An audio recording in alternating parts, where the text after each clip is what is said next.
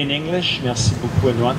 So, in his 18 July letter to the coalition, CDPQ VP Blanchard says respect for human rights is essential to the CDPQ and that it is following the situation in Palestine very closely. Is that true? If so, the CDPQ should be aware of the July 19th advisory opinion of the International Court of Justice, which states, in short, that Israel is imposing its authority over the occupied Palestinian territory by force in flagrant violation of international law. The court therefore calls on all international actors not to lend any aid or assistance to the maintenance of the occupation, and on the contrary, to do everything in their power to put an end to this situation. This includes investors such as the CDPQ. How is the Caisse fulfilling this obligation? We presented four examples of investments that are involved in violations of international law and constitute war crimes. Four examples among 87 companies. Those were WSP Global, a Montreal based engineering firm in which the CDPQ is the majority shareholder, Alstom, which owns Bombardier Transport, Caterpillar, and Lockheed Martin. In its previous statements, the Caisse attempted to deny or minimize the involvement of Alstom and WSP in rail transport projects, namely the Jerusalem Light Rail project and the Tel Aviv Jerusalem rail line. These projects that cut through the occupied Palestinian territory. The rails are on stolen Palestinian land in violation of international law we demonstrated with abundant supporting documentation that these two companies are directly involved in violations of international law. As for Caterpillar, it supplies the Israeli army with heavy machinery used for numerous crimes against the Palestinian people, including the construction of illegal settlements and the separation wall, repression of demonstrations with armored bulldozers, destructions of thousands of Palestinian homes, extrajudicial executions of Palestinians. Finally, the Israeli army uses these vehicles to kill civilians, as was the case last December when Caterpillar armored bulldozers were used to bury alive the wounded outside Gaza's Kamal Adwan Hospital. This is not just the view of the coalition or of numerous UN experts who've denounced it. It's also the view of KLP, Norway's leading pension fund, which decided last June to exclude Caterpillar from its portfolio. What is the CDPQ waiting for to follow KLP's lead? Lockheed Martin supplies Israel with several types of weapons, including F 16 and F 35 fighter jets. When the Israeli army makes an airstrike, it's usually with a Lockheed Martin plane. These planes are regularly used to drop bombs weighing up to 900 kilos. That's 2,000 pounds. Bombs that can kill and injure people up to a kilometer from their point of impact. We're talking an area 10 times the size of Le Parc La Fontaine. These bombs are so powerful that even the US Army has stopped using them in densely populated areas. What does Israel do? It uses them to bomb refugee camps, to bomb hospitals, to bomb schools all over the Gaza Strip. And with what do they carry out these strikes? Aircraft sold by Lockheed Martin. So every time Israel massacres Palestinians, Lockheed Martin profits, the CDPQ profits, and through the CDPQ, it's all Quebecois who have blood on their hands. Is that what is meant by the highest standards of ethical investment? We put the question to the CDPQ yesterday. They refused to answer. We believe there's only one possible answer divest immediately from Lockheed Martin, Caterpillar, WSP, Alstom, and the 83 other companies complicit with violations of international law and war crimes in which your pension money is invested. Thank you. euh, Karine Poirier, directrice des affaires publiques, Catherine Simard, directrice de l'investissement durable, et Rémi Méo-Martin, conseiller expert euh, en relations humaines. As soon as the meeting started, they said that they were only there to listen, understand, and report to their hierarchy. Catherine Poirier and uh, Karine and Catherine Simard look like they listened to this information for the first time in their life, although they were warned for almost two years by various parties that their investments in occupied Palestinian Palestine were at least problematic, since 87 companies are actively involved in grave violations of human rights and war crimes. Those investments affect negatively the reputation of the CDPQ and uh, ensure uh, and make and ensure that uh, the bas de laine des Québécois is stained with blood.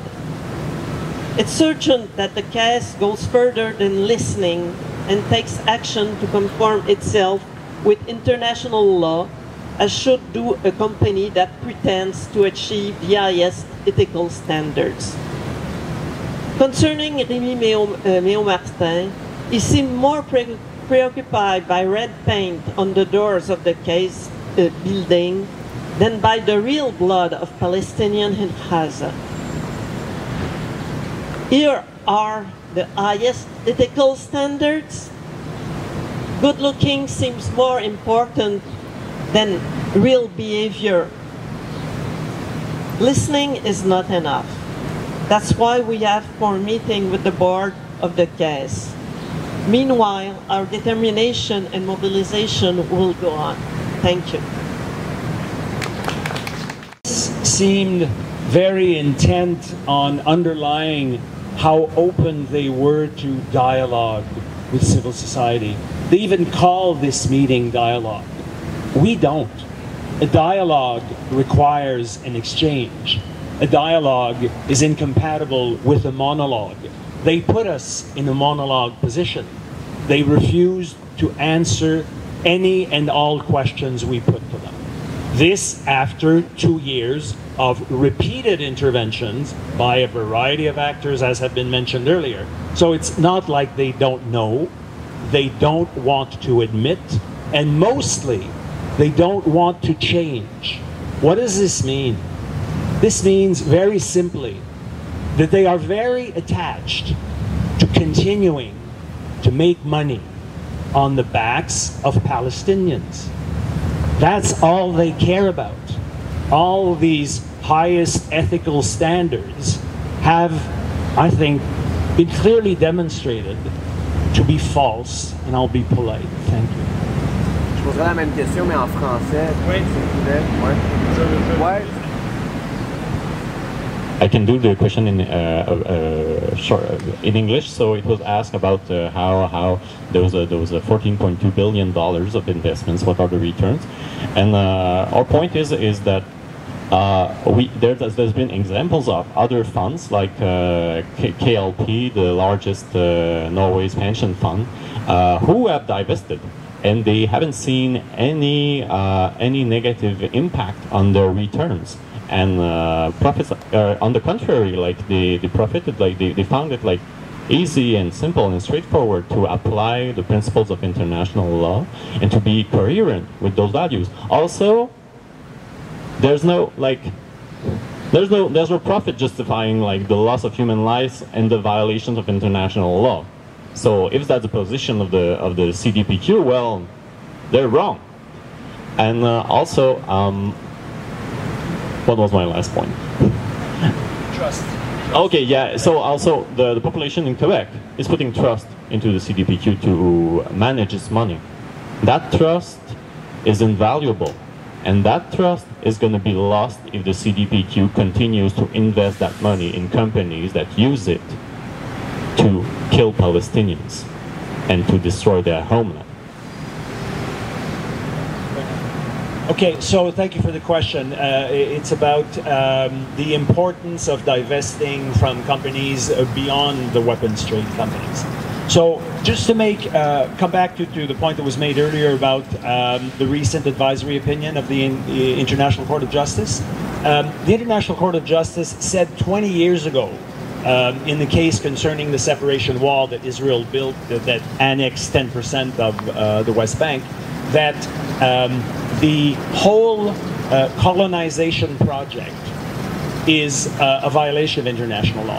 And then, you know, international law advances progressively. Over the, the last 20 years, then several more interlocutors, UN High Commissioner for Human Rights, for example, various UN Special Rapporteurs, concluded that not only are these colonies, so these are Israeli Jewish settlements on stolen Palestinian land in, in the West Bank and East Jerusalem. So not only are these colonies, these settlements, a violation of international law, they are a war crime. Why are they a war crime?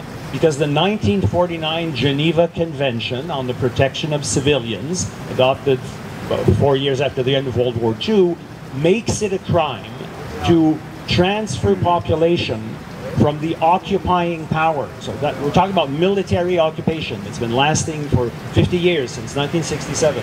So Israel, by transferring its Jewish citizens from Israel proper into Palestine, which is under military occupation, is committing the war crime of transfer of population. So every and any company that carries out business in any and every Israeli illegal settlement is complicit with the war crime of transfer of population from the military power. And this has been repeatedly brought to the attention of the CDPQ. This was made very clear in the letters that I had the honor of coordinating with six uh, eminent, uh, world-renowned experts of international law that agreed to co-sign and go on the record telling the CDPQ, you are complicit with the war crime that constitute these Israeli settlements. So that's why it's so important to divest not just from the Lockheed Martins and the Caterpillars, but the WSPs and the Alstoms and every other company in which the CDPQ has invested the pension funds of the Quebec population in um, the occupied Palestinian territory. C'est bon? Euh, je reprends en français? OK. Donc, la question... The board of the guests, because we want a dialogue, not only to explain our position. But uh, we also uh, uh, uh we will also continue to mobilize. There were camps this summer there will be demonstrations, there will be letters, petitions, and things like that. So uh, it, it's not. It, it's important to sensibilize the, the, public opinion in Quebec to uh, let them know, and you have a role in that, to let them know that the Caisse is involved in dirty business. And we will do that. I'd like to add one thing. We're not negotiating with the Caisse. There's $14.2 billion of investment that need to be retrieved, period, in 87 companies, period. We're not going to negotiate that it's 35 companies and 4 billion, and there's no negotiation. It has to do with human rights, it has to do with international law, and these investments are highly problematic and have to end. That's it. So we pleaded that with the Caisse yesterday after a lot of other people. And what is actually more important than our meetings is that actions be organized, that or different organizations in civil society debate this issue in their own decision-making bodies, take a stand on this, that trade unions take a stand on this, that their pension money should not be invested in this type of companies and this type of economic activities. And this is where the core of the issue lies in mobilizing civil society and exercising pressure against these investments. As we write here, Canada as a country is complicit. Western countries have generally been complicit with Israel for decades. this is not going to change just because we tell them it's against international law. They know that. They've known that for years and years.